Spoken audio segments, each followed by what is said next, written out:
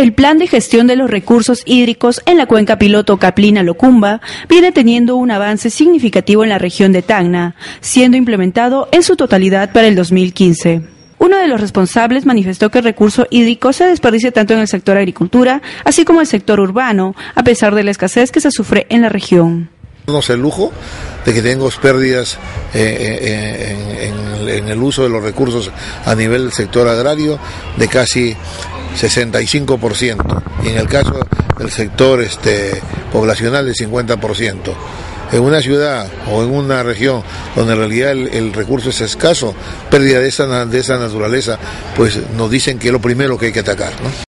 Indicó que este problema se da a nivel nacional debido a que en este sector la mayoría de agricultores utiliza el riego por gravedad, donde el aprovechamiento es solo de un 35%. Afirmó que en Tacna este proyecto tiene un avance significativo y que viene siendo implementado desde el 2011. En dos semanas se implementaría el Consejo de Cuencas de Tacna. El plan, el plan de gestión te dice claramente qué tipo de acciones hay que hacer, qué tipo de inversiones hay que este, realizar en, las cuencas de Caplina, Locumba, Sama, eh, la parte alta, y en relación a la gestión de los recursos hídricos. O sea, ya no serían simplemente acciones eh, desarticuladas de instituciones, sino acciones más bien eh, concertadas. Este plan es parte del proyecto de modernización de la gestión de recursos hídricos que abarca el mejoramiento de seis cuencas a nivel nacional con un presupuesto de 42 millones de dólares.